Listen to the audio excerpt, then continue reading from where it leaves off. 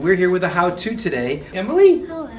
you came up with another idea. And these things are the ideas. Look at these, they feel so good. What are these?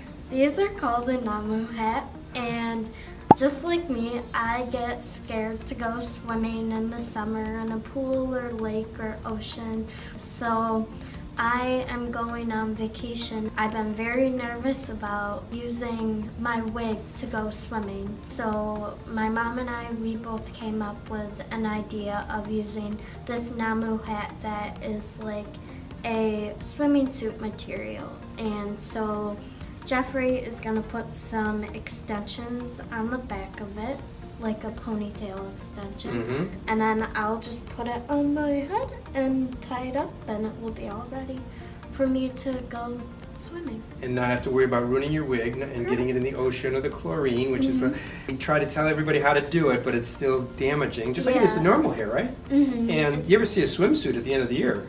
Yeah. It's really in bad shape. Mm-hmm. That's great, and it's so soft. It doesn't. It's almost like our um, our towels that we put in your kit when you get your Yeah. hairpiece. It's real soft and friction free. But it's called N A M M U Nammu Nammu. It's soft, and you can many colors. It's great. Yes. Tie it up. Emily, great idea. This is a great idea. Should I try one on?